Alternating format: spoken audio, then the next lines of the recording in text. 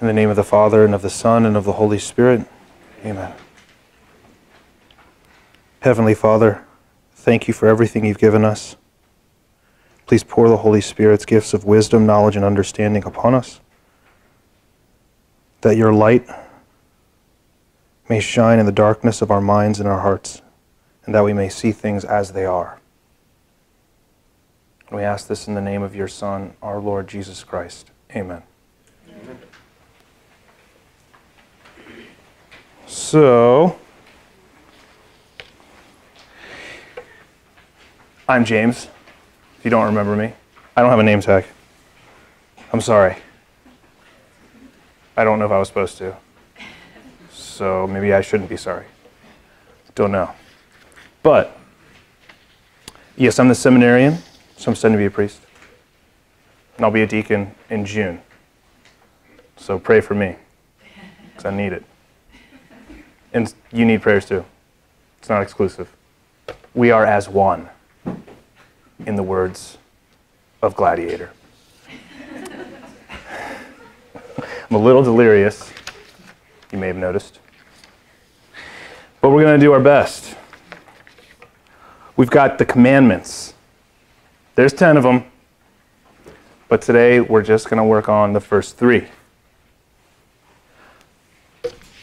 Which are really important, as are all the commandments, because God said them. All right, so, first commandment. You may be wondering, what is that? Well, I wrote it down. I am the Lord your God, who brought you out of the land of Egypt, out of the house of slavery. You shall not have other gods beside me. You shall not make for yourself an idol or a likeness of anything in the heavens above or on earth below, or in the waters beneath the earth. You shall not bow down before them or serve them. Now, you would think this would be pretty straightforward. I was thinking that at least when I was preparing this. I was like, yes, there's one God, and you don't worship things as God that are not God. That seems pretty simple. And I still think it's simple. But I have to talk more about it. So, Roman Catechism this is the Catechism of Trent. So this was in the 1500s. Um, the, the, the catechism that you guys have is the up newer one, right? But uh, this is still a valid catechism. And it says that the mandatory part of the command, the first commandment, contains a precept of faith, hope, and charity. For acknowledging God to be immovable, immutable, always the same, we rightly confess that he is faithful and entirely just. Hence, in assenting to his oracles, we necessarily yield to him all belief and obedience. Again, who can contemplate his omnipotence, his clemency, his willing beneficence, and not repose in him all his hopes? Finally, who can behold the riches of his goodness and love, which he lavishes on us, and not love him? And that quote from the Roman Catechism is actually used in your catechism. They don't say the whole quote, but they actually use it. Um, so the, but the point that it brings out is that you can sin or violate the first commandment in three ways, more than just this, but contrary to faith, contrary to hope, and contrary to charity. Right? And so, sins against faith are when you doubt things that are revealed by God, who is the ultimate authority, or by the church, who, which is the mouthpiece of God's authority. Right? If you believe that the church is established by God um, for the continuance of his truth, then the church has the authority to, author- to, to speak infallibly on matters regarding morals and faith. Okay? He didn't, in other words, um, after Jesus ascended into heaven, he didn't leave us alone. He didn't leave us in the dark, but the church is always with us to guide us into all truth. As our Lord himself says in the Gospel of John, right? The Holy Spirit Himself will come to lead you into all truth. Um, this I found interesting. The Catechism says if deliberately cultivated, doubt can lead to spiritual blindness. Um, I found that interesting because Father Faber, he's a, a priest in the, uh, he was a priest in the late 1800s, early 1900s, and he said, Our religion is our confidence. So, like, how confident for example, how confident we are and how much we trust God in His love for us and in His providential guidance of us to Himself is the extent of how genuine our religion is. I think there are a lot of people who profess to be, you know, devout Catholics who really don't trust God. It's like, well, that doesn't make any sense. Because if you really believe what the Catholic Church professes, then why would you ever doubt God? Because He is goodness itself, love itself, happiness itself. Like I remember I used to think, I didn't think it explicitly, but I used to think this, I had this idea that um, salvation was like me running on an obstacle course, and God was like putting a bunch of stuff in my ways, in my way, obstacles, like trash cans, or a fire pit, or sharks. Um, and he was trying to make me fall, and I was trying to get through it, as if God was against me. I'm trying to get to him, but he's actually fighting me. um, remember, I had a dream, and when I woke up, I realized it was the opposite that God was behind me because he wants me to go to heaven. That was like a crazy idea to me. That God wants me to go to heaven. He desires my salvation. And he's drawing me to himself. Now, of course, we can reject that, we can deny that. But it's important to see God as on our side, right? And if God is for us, who can be against us? As St. Paul says in Romans. So, faith, not only believing in God, but also in what He reveals, and perhaps most importantly, um, having the confidence of a child that He takes care of you. Right? There's like, remember this example someone told me, like a little, a little boy at the playground talking to his friend.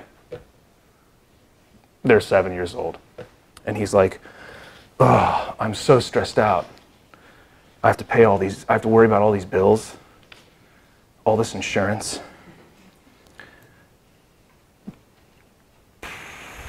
Cavities, not good. Um, yeah. And then the other little boy said, Oh, that's interesting. My parents take care of all that. Like, oh. We kind of live like that sometimes. Like we have to be in control, but actually God is taking care of it all. Yeah. There's a certain suavity or smoothness when someone trusts God. That's an indicator of holiness. You might have met someone like that. He kind of lives in a peace and a serenity. He's not always rushing from one thing or to the next. I've met people like that. Maybe you haven't, but hopefully you will become that, become the change. So, then incredulity, neglect, or willful refusal to assent to reveal truth. So, neglect, right, there can be willed ignorance. Someone can decide to not learn about the truths of the faith, which would be a sin.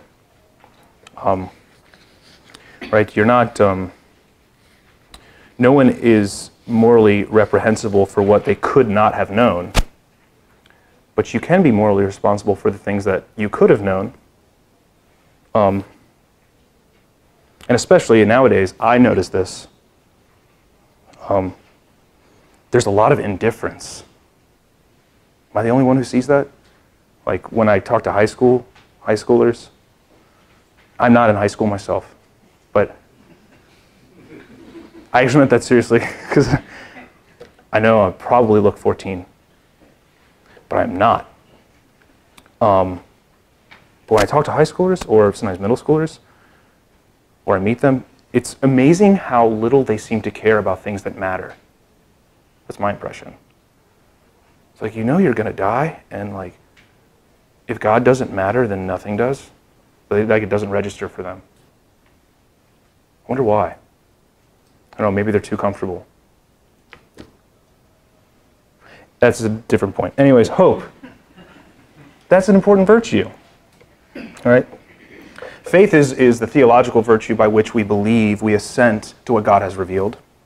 And hope is the theological virtue by which we trust that God has the power to bring us to Himself. Right?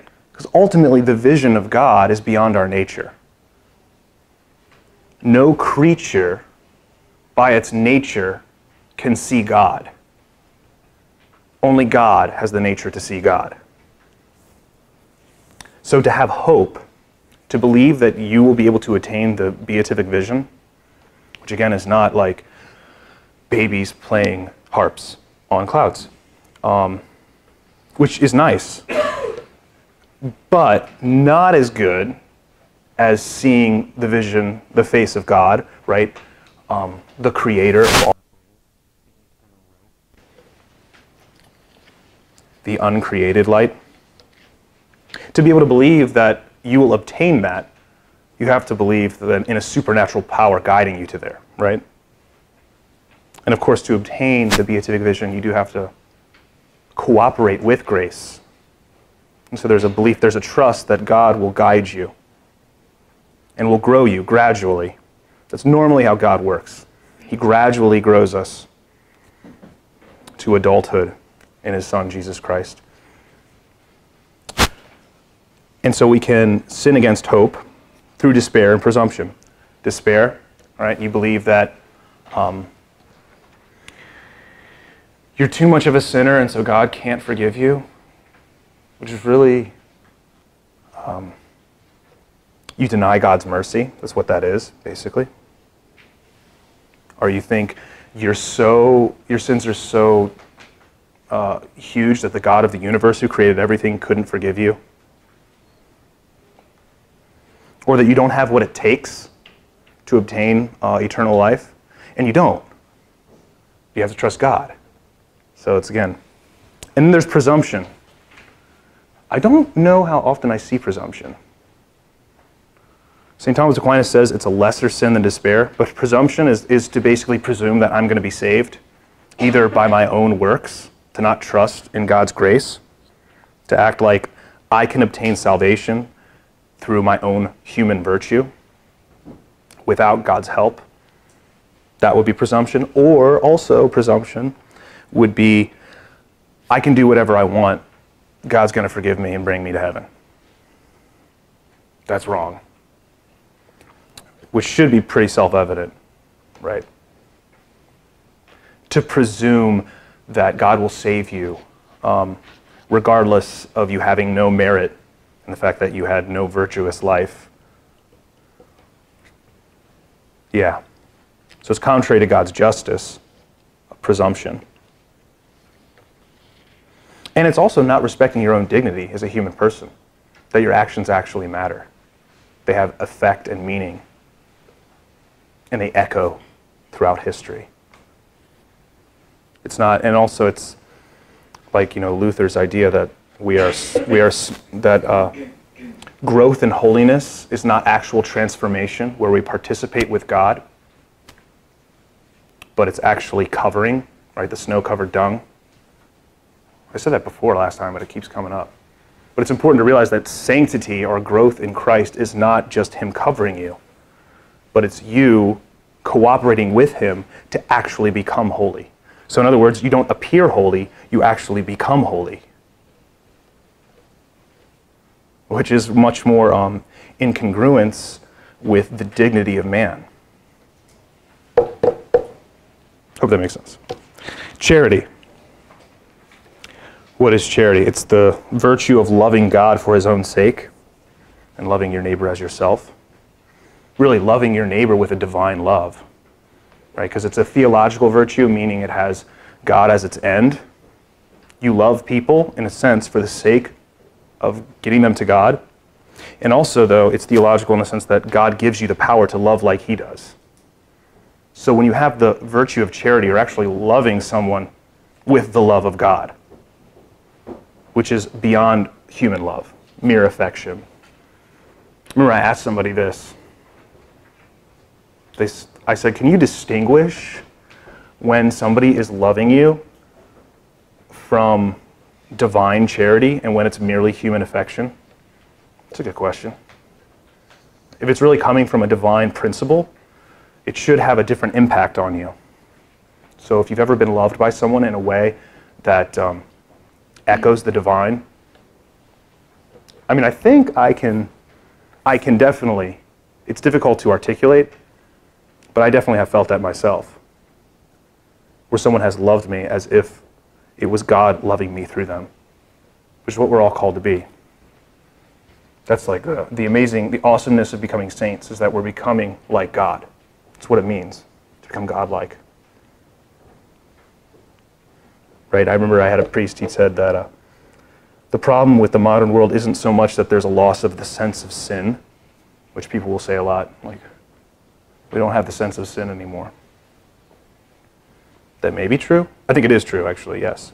But more importantly, we've lost the sense of how amazing holiness is. And I think we don't really, yeah, because like how I understand holiness is kind of like somebody levitating, I think. I think we have the idea that holiness is beyond is something inhuman, whereas it actually is the fulfillment and the completion of humanity. Right? Somebody who's holy isn't completely someone who's holy is also relatable. I think we have this understanding that to be a saint, you have to be completely unrelatable. You're so um, beyond the scope of humanity. But it's not. Actually, the holier you become, the more approachable you become, the more relatable you become, the more human you become, right? Because to sin is not to be human. Sin is the least human thing about us. So, sins against charity, indifference, like I was saying, I find that very common in, I don't know, I guess they're millennials, but I'm millennial. I don't know the generations like when they start. Kids in high school now and below.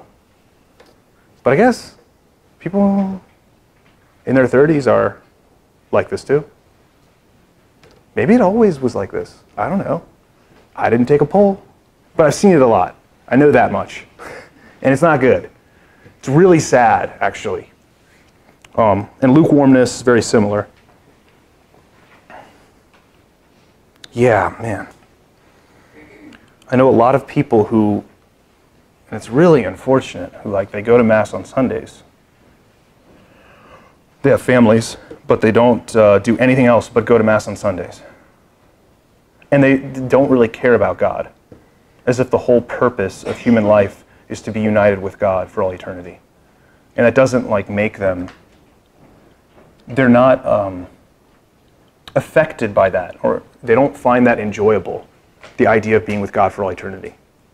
They're like, I'll, I'll do, you know, my, my Sunday obligation. That's not enough, because it's not about just doing precepts, right? The Christian life is about a relationship with God. It's not really about law. It's about reintegrating the human person um, to be able to lift him up into the divine, right? Grace restores and elevates nature. So that's really sad. At least it is to me. Um, hatred of God, I don't see that that often, but that's because I am in a seminary.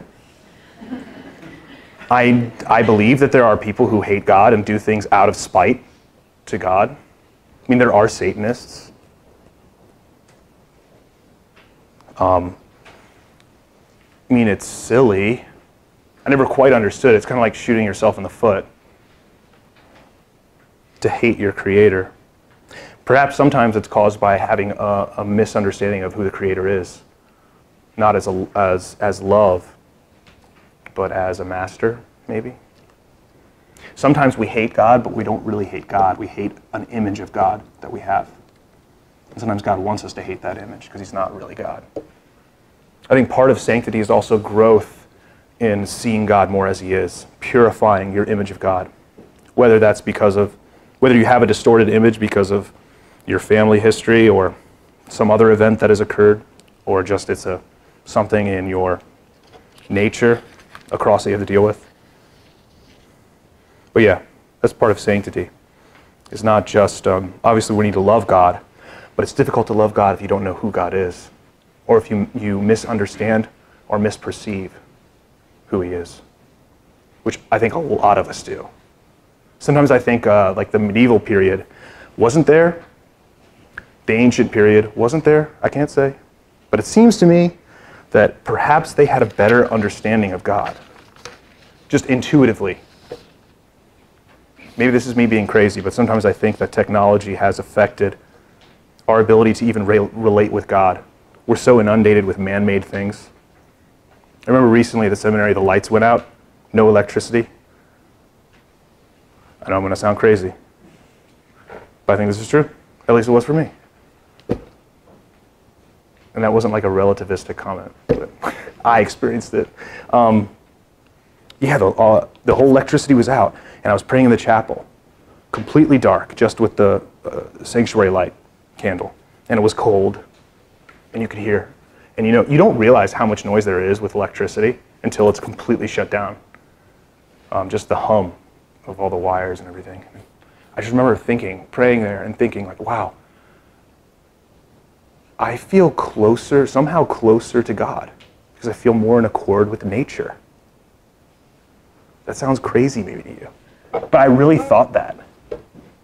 There's something about like the natural rhythm where we're not uh, inundated with electricity. Like these lights, I think, are very ugly. Inundated with ugliness.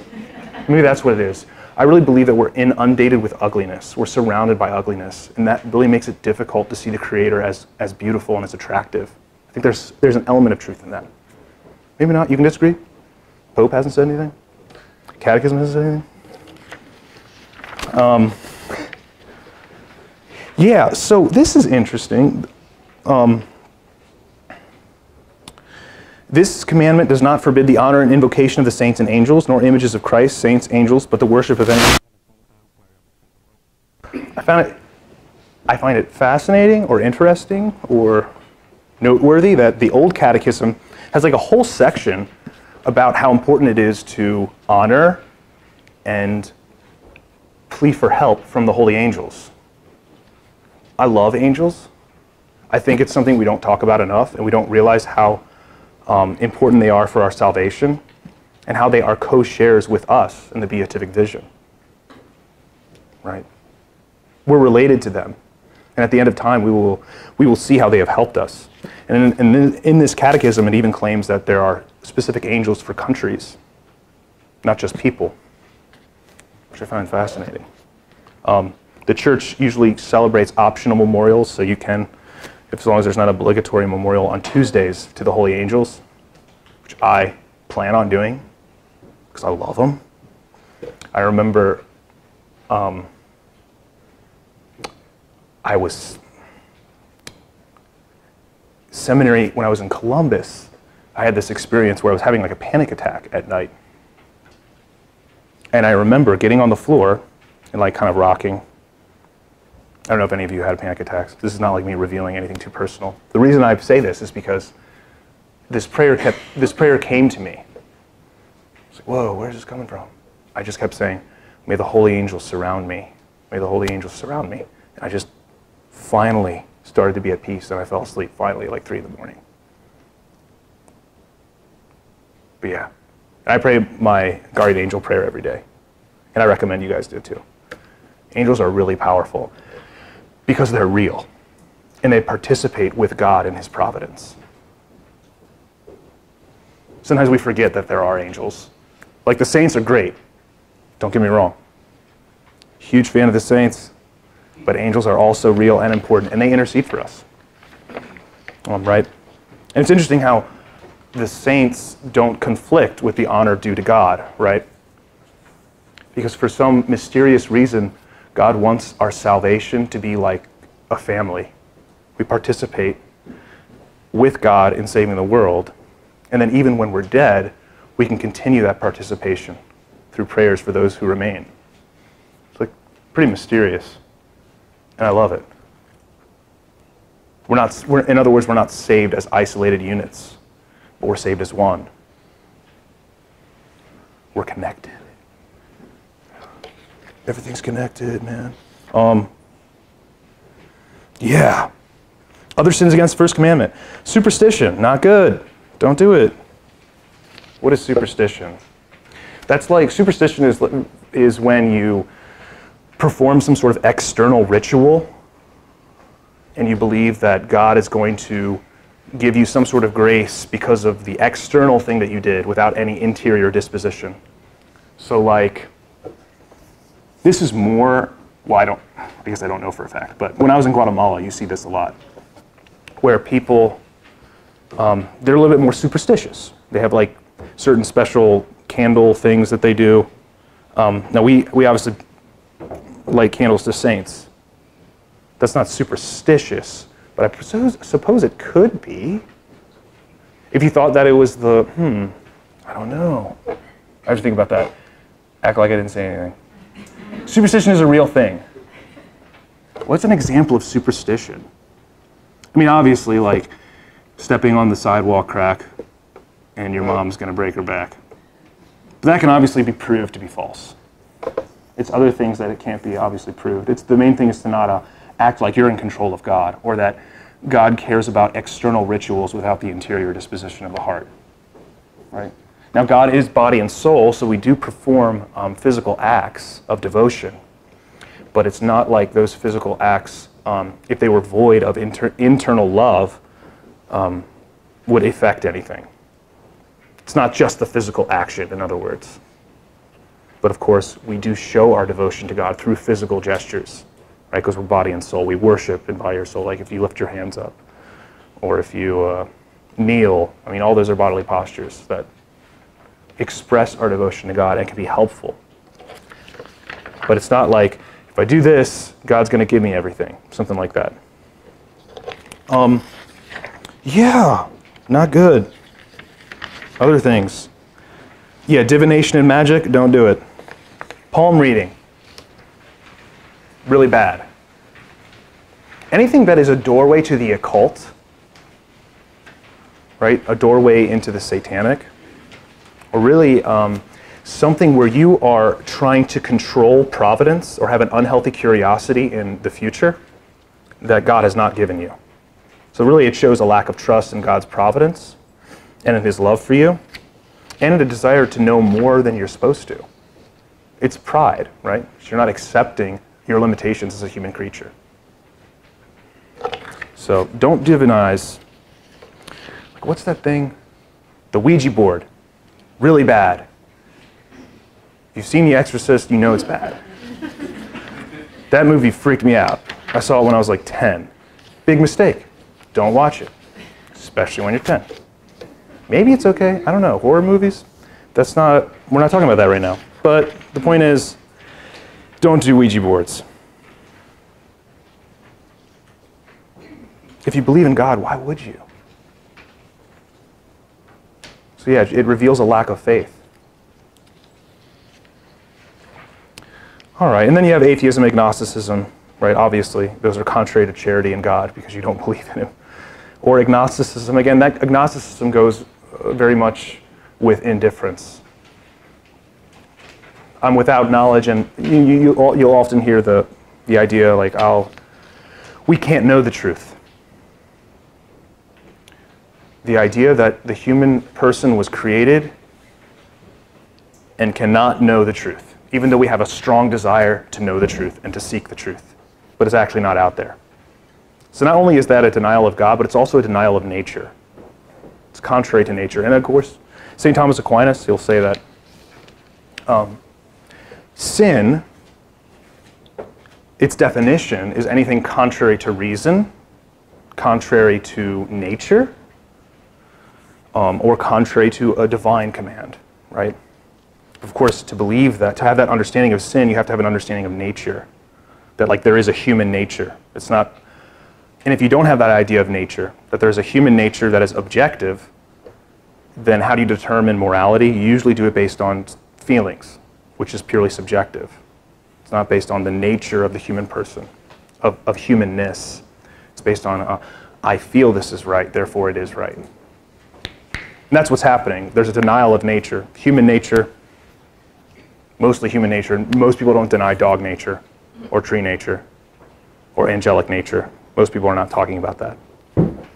But is there a human nature? That's, of course, how we can relate with one another, how we can understand one another, because we share a common nature. Second commandment You shall not invoke the name of the Lord your God in vain, for the Lord will not leave unpunished anyone who invokes his name in vain.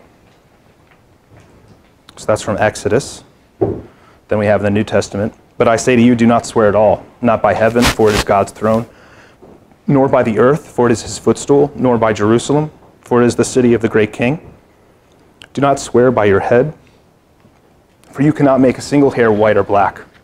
Let your yes mean yes, and your no mean no. Anything more is from the evil one. And I put down below, it's this example of oaths in Scripture. The reason I put this is because that verse has been interpreted by the tradition in both the Catechism of Trent and in the Catechism you have, the Catechism, the New Catechism. Um, it doesn't mean that you can never take oaths, right? Because religious take vows, right, of poverty, chastity, obedience. Um, and there's an example of an oath in Scripture. There are others, but here's St. Paul saying, But I call upon God as witness on my life that it is to spare you that I have not yet gone to Corinth. Um,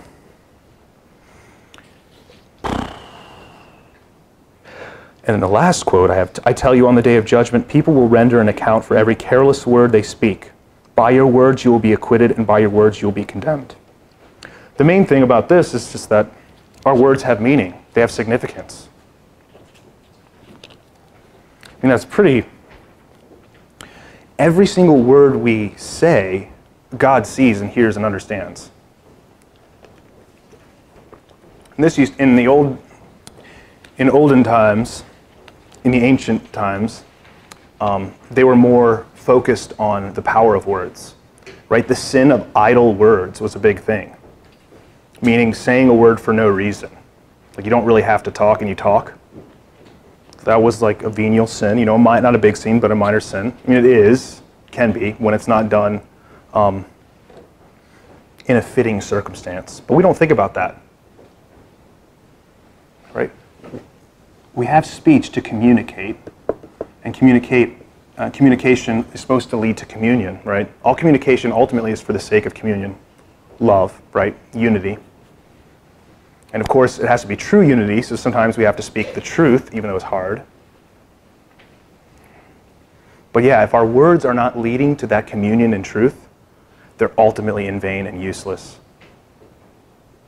And we can be charged for them right? I myself, I mean, I'm guilty of this. I say lots of things that are useless. I make mistakes, all right? Is that fair? Um, but we're supposed to be progressing in becoming holy. Now, this doesn't mean that you can't make jokes, right? Doesn't mean that you can't uh, talk to your friends about things that are not directly related to the divine. Um, but it has to be fitting to the occasion and the circumstances. Um, yeah, right? Again, words contrary also, anything contrary to charity, but also things contrary to reason. Is this, is this reasonable for me to say this right now? Have you ever had that? Like you're at a big dinner and you just really want to, maybe you guys don't have this problem. I have this problem where I say something like, I want to say this, this will be funny. It's like, uh, this really wasn't the occasion for that, James.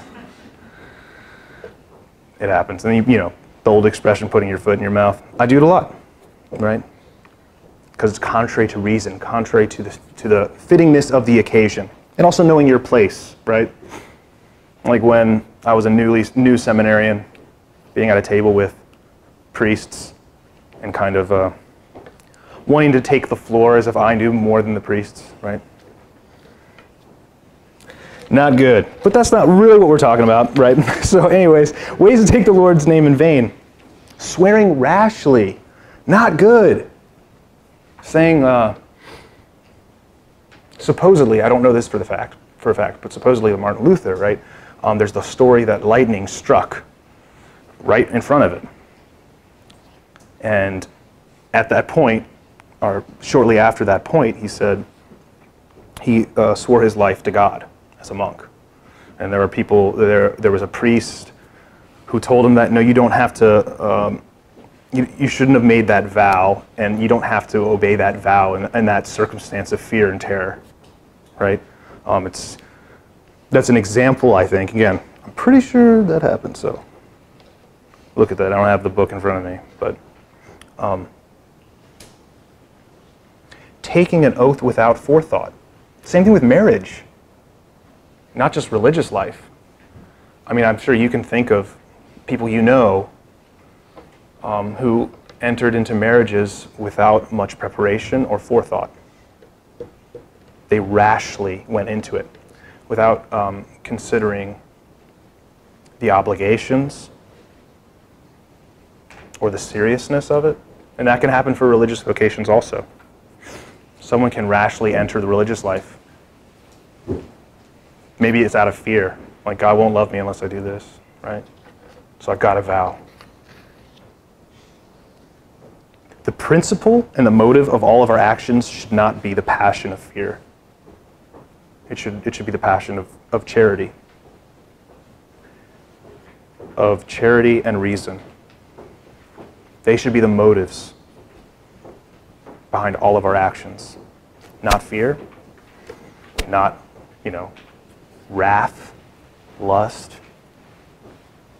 When they become the driver, that's when we make mistakes. That's when we err. That's when we act contrary to nature, the nature of things. All right. Swearing falsely, really bad. Like in a court of law, putting your hand on the Bible and swearing something that actually isn't true, that means you're calling on God as a witness to a lie. Very serious. I believe perjury is a sin that cries to heaven, too. Um, so don't do that. I don't think any of you will. I don't know you very well, I presume. You're here, right? Yeah, don't do that. Unjust oaths.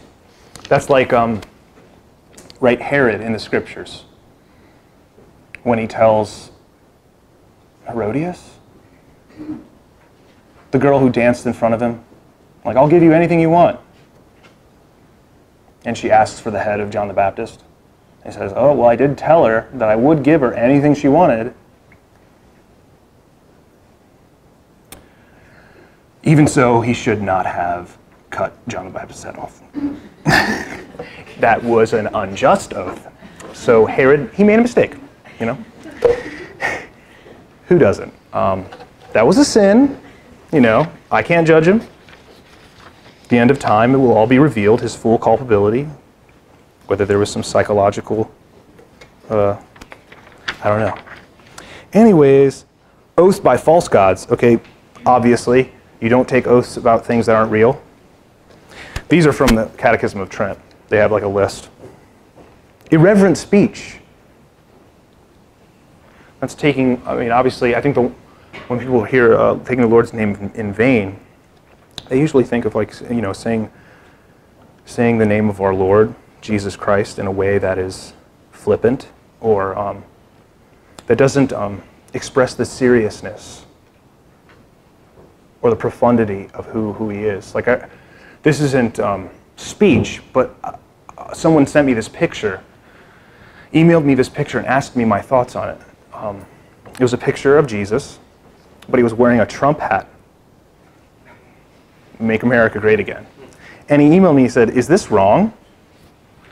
And I said, here's my opinion, my two cents.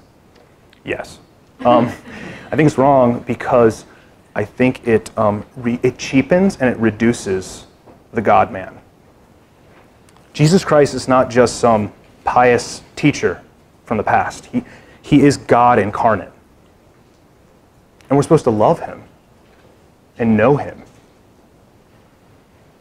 like there, we just got an email from the seminary. Some guy was in the airport and he saw this ice cream place called Sweet Jesus, and he he emailed all of us and said that he found it offensive, and I can understand that, right?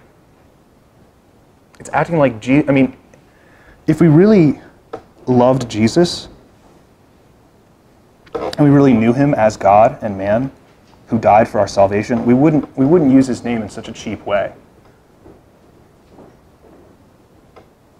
I think part of the problem why we're prone to use his name in vain or use it in a way that is cheap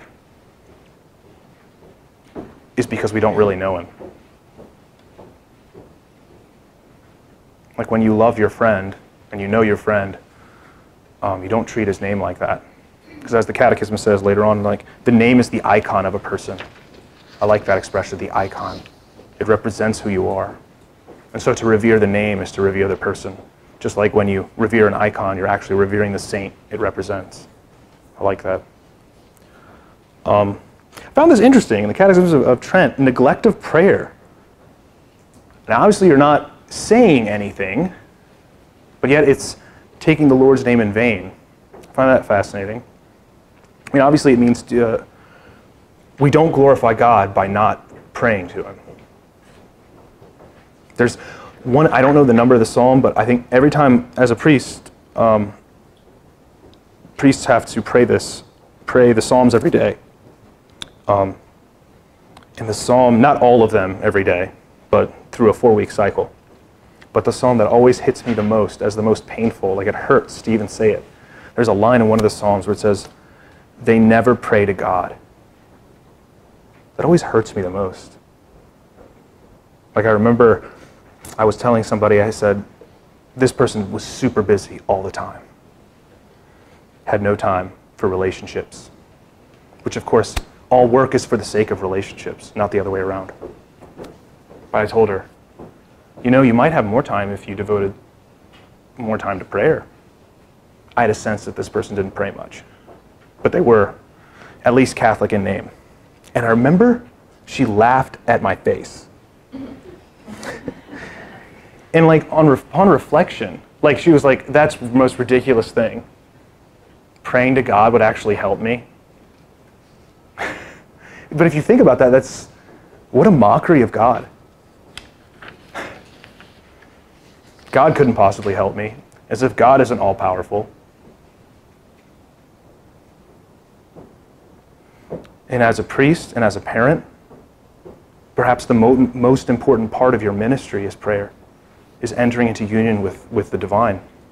Because the, the closer you are to God, the more you can see all of these human conundrums in a divine light.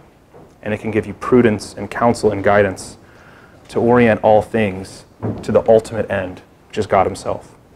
Really, the union of all human beings in God Himself. That's what the church is the reunited family in God, the definitive family. Um, blasphemy. Using God's name to curse God or cursing God. It's obviously really wrong. I don't I think that's pretty self-evident. I would think. But you know there are a lot of there are a lot of expressions we use nowadays. I mean, you hear it a lot using uh, the Lord's name in vain. And I'll, as an example, write, oh my God. You hear that a lot. Is that wrong? My opinion? Yes. Because, I don't say it, but I never like to hear it um, because it's always used in a way that is not in accord with the profundity of who God is. And again, I think using the Lord's name in vain has become so second nature to our culture. And even in those who are faithful, who are Catholic, and that is, I think, primarily due to the fact that we don't know God. And of course, you, you begin to know who God is through prayer. So when you don't know God, you don't think it's a big deal to use his name in vain. Right? It's one of the hardest things to do is to help people fall in love with God. That's the priest's job. Because so many people don't see God as attractive. But he, but he is. And I can't show it to you. You have to experience it yourself. Right? It has to be a grace from outside of yourself. That's like Jeremiah, he says, um, I will inscribe upon their hearts a new law. Right? That means even the way we act has to be has to transform us, but it can't come from ourselves alone. God has something external to us has to help us not only act right, but also to see God aright. And even ourselves, like St. Augustine says in Book 10 of the Confessions, he says, All that I know about myself, I know from, from your light. Only when we properly see God do we even properly see ourselves in that relation. And all of the lies about our identity. That's a big thing now, right? No one knows who they are. How can you know who you are if you don't have a relationship with your Creator? Or, or good relationships even with your family or friends? When you distort relationships, when you have bad relationships, you distort your identity. Because a person's identity is intrinsically bound up with their relation to others. You don't find yourself in isolation to others, you find yourself in relation to them. Especially in the family. By the way, how many people here like music? I know some people actually don't. Well, everybody likes music, but some people are like not really that into it. Beautiful piece of music. You don't have to raise your hands. I saw some nods. There's a beautiful piece of music called uh, from Messiaen. He's a French composer, Oliver Messiaen. Most of this, most of the um, composition is, is a little weird. It's bizarre. But it's called the String Quartet for the End of Time. And he wrote it when he was in prison camp in World War II. And uh, the last movement, which is um, I'm trying to, I can't remember the, it's the eighth movement, the eighth track on the CD of the, uh, Praise to the Eternity of Jesus, I think is what it's called. Praise to the Eternity of Jesus. The last movement. Um, to me, it's one of the most beautiful things I've ever heard. The reason I bring it up is just because the idea of ascending into the love of God, into the heart of God, and His love for you, that song for me reflects that very well.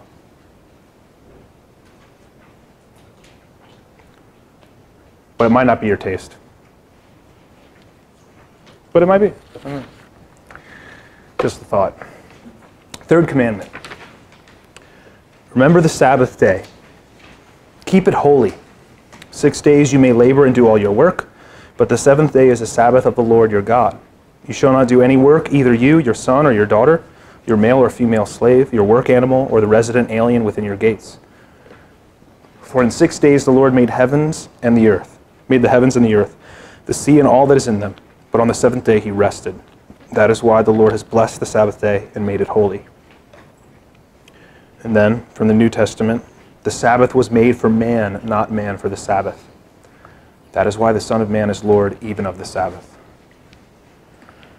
And then there's a quote from St. John Paul II's encyclical on, the, on Sunday, the Lord's Day. Um, but these two quotes from the Old and from the New are important because the celebration of Sunday is not the Sabbath. We no longer observe the Sabbath. Now, you might have met some people called the Seventh day Adventists who say, Why don't you observe the Sabbath? It's a command. Well, I'm going to let you know why and it makes sense. Um, so first of all, Sunday, right? The Sabbath was the commemoration of the, the remembrance. Notice how the word is remember the Sabbath day. It's a remembering the creation, remembering the beauty of creation and the fact that we have a creator. Right? So Sunday, which is now which is called the Lord's Day, is a remembering a commemoration of the recreation in Christ. Right? That's why we go to Mass also, because it makes present, it represents the sacrifice and the resurrection, where we partake. Um, we, we partake of Christ and are risen with him. So, Sunday's not the Sabbath, but the fulfillment of the Sabbath, and it should be called rather the Lord's Day, the first day of the week. And Dies Domini, the encyclical, means the Lord's Day. Um, and the Catechism of the Catholic Church, you guys have read that, but just for your easy view, or if you haven't, I know you have the Catechism, right? So like, I don't have to read it. Um, but okay, where's this proof that why is the Sabbath, why do we not celebrate the Sabbath, even though we follow all the rest of the commandments? James, can you explain this? Because you don't seem smart. Well, I'm going to tell you that I am smart, at least to some degree, and I have proofs. First of all, from Scripture Acts 27, on the first day of the week when we gathered to break bread. Hmm, interesting. First day. Then why do we call it the first day? Right? Because it's the renewal, it's the recreation. The first day because it's the new day. The day where we commemorate the fact that we have made partakers of the divine nature through Jesus Christ. There's a newness to that that we don't that we very much underappreciate.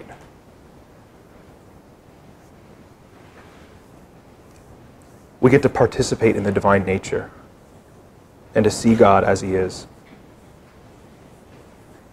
And so in that day that occurred on the resurrection. The newness of the human vocation to share in the life of God, which is beyond any created nature. 1 Corinthians. On the first day of the week, each of you should set aside and save whatever he can afford. Interesting, first day. Colossians. Let no one then pass judgment on you in matters of food and drink, or with regard to a festival or a new moon or Sabbath. These are shadows of things to come. The reality belongs to Christ. Revelations revelations, sorry, Revelation or the Apocalypse, if you want to go old school. I was caught up in spirit on the Lord's day and heard behind me a voice as loud as a trumpet. And then, I'm not going to read all this, but there's a lot of proof from the early church fathers that this was always the custom. Um, that the Sabbath was no longer observed because it was a ceremonial law, not a natural law. Right? So, like, do not kill, is contrary to the nature of man. But ceremonial precepts are things like sacrificing bulls or goats in the Old Covenant, right? Those were ceremonial precepts that were shadows of the thing to come, which was Christ, the true sacrifice. And there are lots of other, other laws, right? Circumcision was one that was usurped from the advent of Christ, right? So you got a lot of that stuff. Council Here's a council of the church, Canon 29, I'll read that one. Christians should not Judaize and should not be idle on the Sabbath, but should work on that day, so Saturday. They should, however, particularly reverence the Lord's day and, if possible, not work on it, because they were Christians. Okay, and then St. Augustine, well, now I should like to be told what there is in these Ten Commandments, except the observance of the Sabbath, which ought not to be kept by a Christian.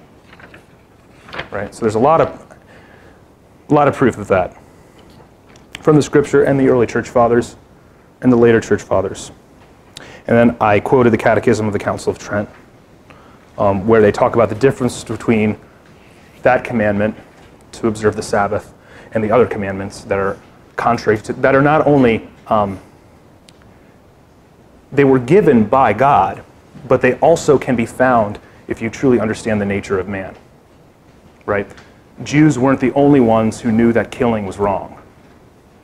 There's something intrinsic to human nature that understands, that is self evident, that killing another human person is wrong, contrary to nature. Okay? But, as the second quote from the Catechism of the Council of Trent says, the worship of God and the practice of religion, which it comprises, have the natural law for their basis. Nature prompts us to give some time to the worship of God. This is demonstrated by the fact that we find among all nations public festivals consecrated to the solemnities of religion and divine worship. As nature requires some time to be given to necessary functions of the body, to sleep, repose, and the like, so she also requires that some time be devoted to the mind, to refresh itself by the contemplation of God. Hence, since some time should be devoted to the worship of the deity and to the practice of religion, this commandment doubtless forms part of the moral law. So it is a part of the moral law to worship God but is not part of the natural law um, to worship God on Saturday, right? And Christ is God, so he can change the day. Does that make sense? Yes. Okay, good. Um, good. Yeah, as it says, neither, it's not a principle of natural law. I don't need to say that. Yeah. Okay, what does this commandment mean practically? Good question. I'm glad you asked. How am I supposed to observe the Sabbath? Slash, not the Sabbath, because that's not what it is. It's the Lord's Day. Well, I'm going to tell you. First of all, canon law.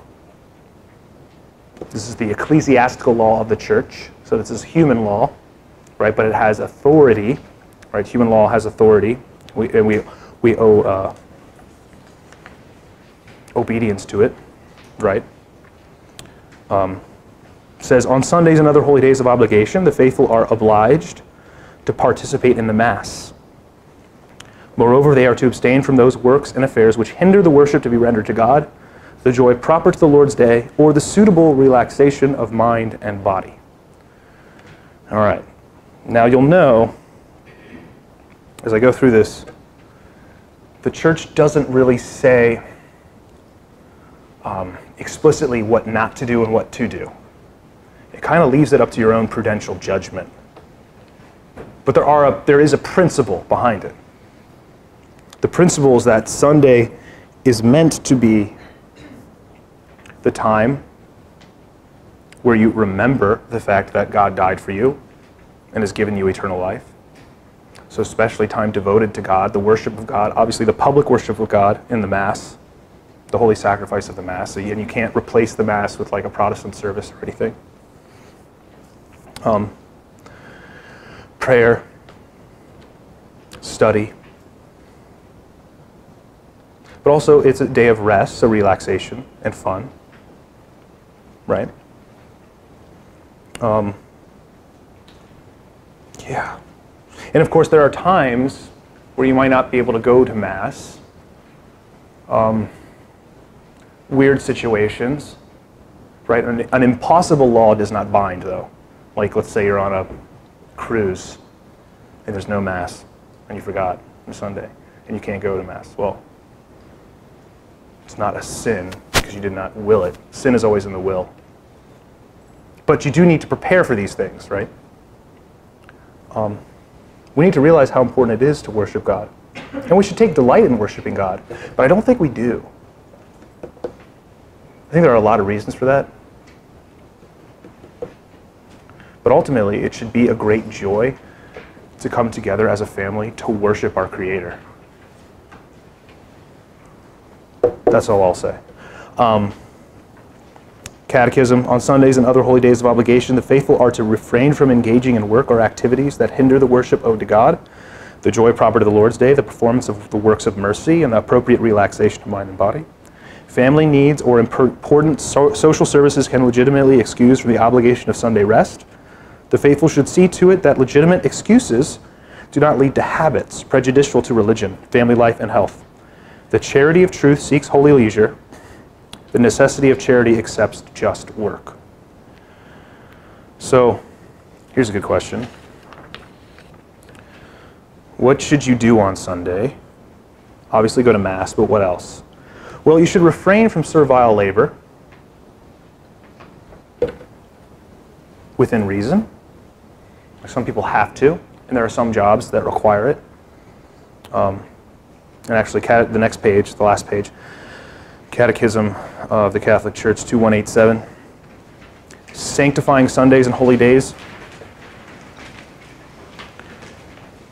requires a common effort. Every Christian should avoid making unnecessary demands on others that would hinder them from observing the Lord's Day. Traditional activities, sport, restaurants, etc., and social necessities, public services require some people to work on Sundays. But everyone should still take care to set aside sufficient time for leisure. With temperance, and charity, the faithful will see to it that they avoid the excesses and violence sometimes associated with popular leisure activities. In spite of economic constraints, public authorities should ensure citizens a time intended for rest and divine worship. Employers have a similar obligation toward their employees. So here's a good question. Um, we should be cultivating in our own lives and in our culture um, a sacred time, preserving a sacred time on Sundays for the worship of God and the intimacy of his family. So, is it wrong to make someone else work on Sundays by going shopping on Sundays? What if you, ha- uh, okay, what about like going to the movies? Legitimate recreation. Someone has to work. But of course,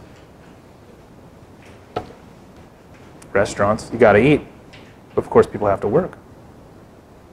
So, what's the solution? Your thoughts? Maybe it's. Now, according to this, it would seem that it's fine within reason, according to the Catechism, right? If, some, if traditional activities such as sports and restaurants and social necessities like hospitals, right, require some people to work on Sundays, then presumably people are going to them. But perhaps it should say, um, if you can do it on a day that's not Sunday, that's ideal. Um, as far as like um, necessities of the body.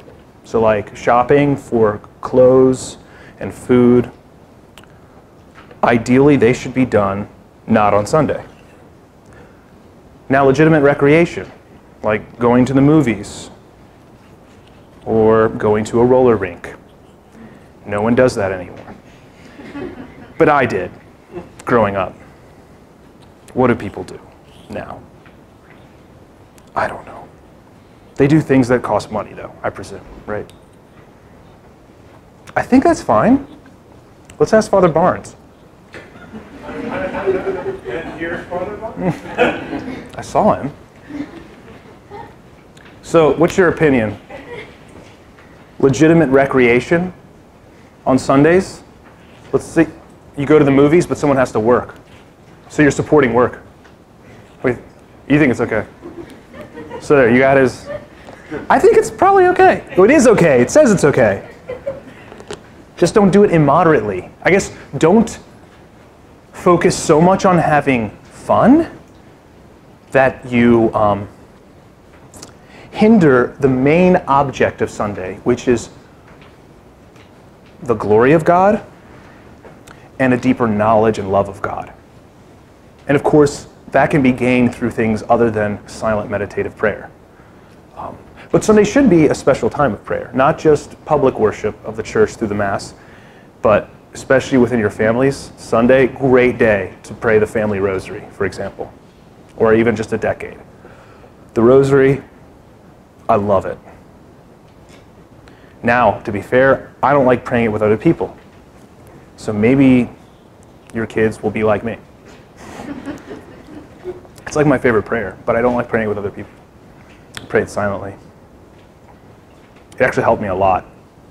Like when I came back to the church, when you don't believe in God, you tend towards vice and viciousness, and you uh, a lot of habits contrary to reason are established, and to reverse them is very difficult.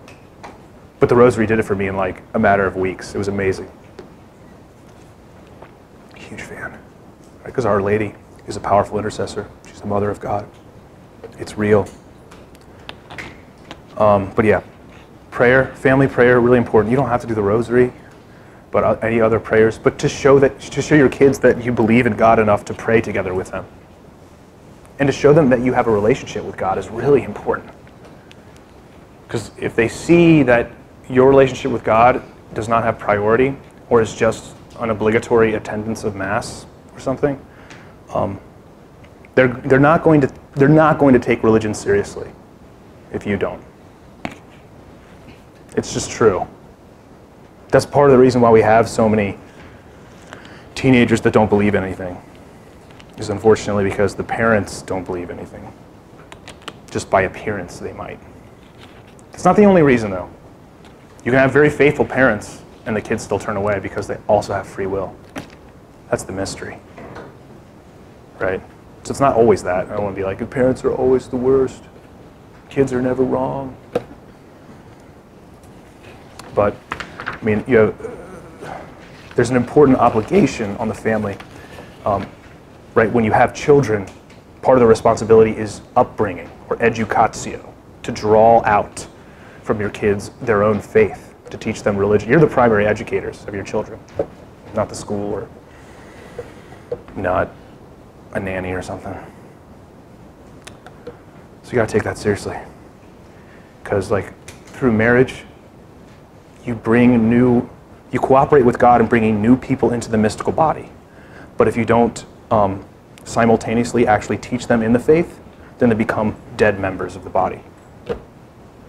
That's not good. Because you want them united with you, not just now, but in eternity. That's the, the best gift you can give to your children is your own relationship with God, which will be unique to each one of you? God creates no duplicates because to be a person is to be thoroughly specific. Okay. Father Barnes answered my question, which that's what I thought, just making sure. So I think I'm good. Any questions about the Sabbath? But yeah, try not to work on the Sabbath unless you have to. I don't know how strong that necessity needs to be. Father Barnes can talk about that later. But you got more information here. I just gave you what the church says. So if the church has, you know, leaves it open to prudential judgments, then I guess you can do that, right? I can't be stricter than the church or looser. Is that pretty good? What's virtue? Absolutely. In the name of the Father, and of the Son, and of the Holy Spirit. Amen. Heavenly Father, thank you for everything you've given us. Help us to delight in being your children and to see you as you are, to know that you are love and that we are your beloved sons and daughters. Please bring us all into heaven with the saints and the angels, beholding your face forever. We love you. Amen. In the name of the Father, and the Son, and the Holy Spirit.